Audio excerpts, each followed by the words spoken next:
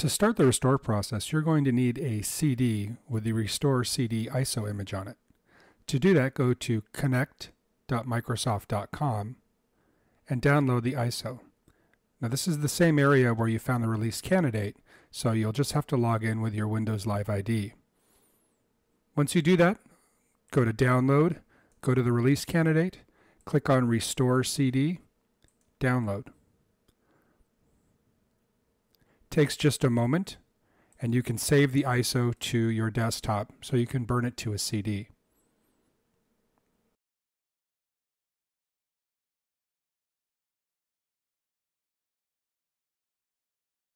Once you've inserted the CD, start your computer and go to your boot menu. Find your CD-ROM. Once you've done that, you may be prompted, if you have multiple CD-ROMs, for your boot device. Your device will then start, and you will select Press any key to boot from CD or DVD. Now that you've done that, either choose 32-bit or 64-bit full system restore.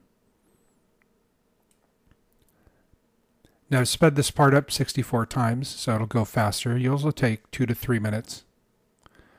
Once this process is completed, a gray screen will pop up and start initializing windows, registering components, and verifying the drivers. Uh, this takes a couple of minutes, but it will start out by asking you for your currency format and your keyboard method. Click on Continue. Now, as you go through here, it'll also have you check your drivers. Now, if you have drivers, uh, you can load them now via a USB key. If not, you can click on Continue. You'll now come to the Full System Restore wizard. Click on Next. And now the wizard will find your server. Now, if the wizard finds your server, you're in uh, good shape. You'll enter in your password. If the wizard does not find your server, you're going to have to go back and verify that you installed the correct drivers. Enter in your password. Click on Next.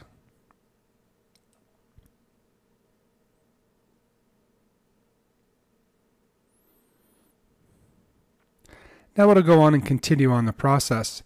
Once it's connected to the server, it'll pull up the backups. You can see here that I can either restore the computer that I'm on or I can bring up a list of the different computers that have been backed up through this server. I'll stick with my Corsair 700D and I'll click Next. You can see now it'll give me a list of the backups that are available. I'm going to choose the uh, 320 backup and I'll continue on. Now, at this point, you can see that there are multiple volumes in this backup. Now, I'm only going to be choosing the system reserved and the C drive for backups. Again, I'm just doing this as a demonstration, so I don't need to back up all of the volumes.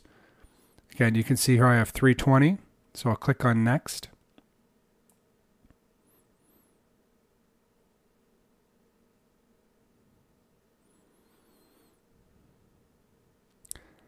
Now at this point, I'm going to make some changes to the destination volume. Now you can see here I have my C drive that can go across, but you can see I have my D and my E.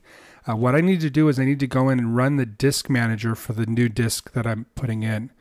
Now the existing disk was a uh, SSD and I'm just going to be upgrading to a 500 gigabyte disk. So what I'm going to do is I'm going to erase the partitions on my new drive so it's blank. So this is how you would start out. Now I'm going to do two things. I'm going to create a 100 megabyte partition. To do that, you just right mouse click on the unallocated space, click on new simple volume. You'll type in 100 megabytes. Click on next. Don't worry about the drive letter or the formatting. Just click next and finish through. Then you can see now I have that new volume, which on my system is D. For the remaining amount, you'll right mouse click you click on New Simple Volume. Assign the following drive letter. Again, the drive letters are irrelevant at this point. Just click through Next, Next, and Finish. And now we've got the proper partitions that we need. It takes just a moment to partition out. So you can see we have a 100 megabyte partition for system reserved and the remaining amount. Now we can go through and change our source volumes to match our destination volumes. And again, it'll have you check to make sure you use the right day. So I'm going to go into C and I'm going to choose none, okay, you can see now that I have D new volume. So I'm going to choose system reserve to match and then I'm going to choose C colon for my E new volume. Again, I'm not going to be overriding any other information that's on here. So you want to have your new volume system reserved match the new volume, and you want to have the C colon match wherever your disk data is going to. Again, check with uh, the article or check with our notes on using usingwindowshomeserver.com for more information on how to set up destination volumes.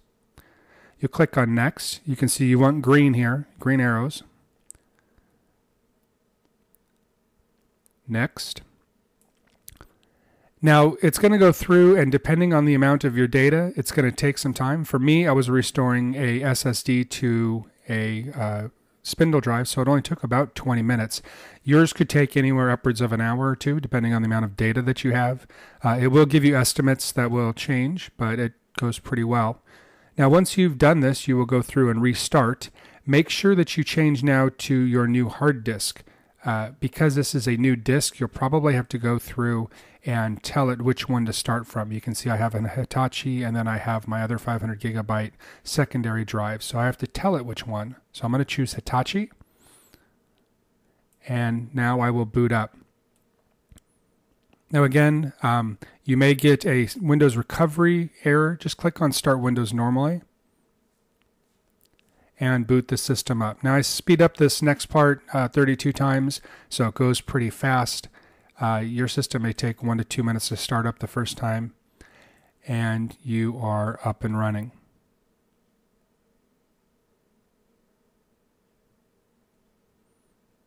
Once you're up and running, one of the things that you want to do is right mouse click on computer and you want to verify information on how the partitioning and how the system worked.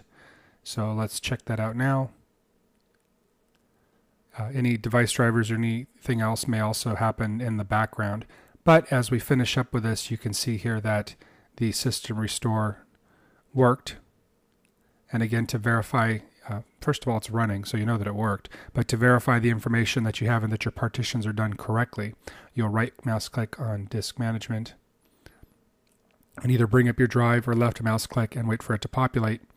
And you can see here now that my disk zero has everything that I need. So there you go. That is a simple system restore. Again, uh, you always do this when you're upgrading the drive sizes. Um, thank you for checking with us. Check back with using Windows Home Server.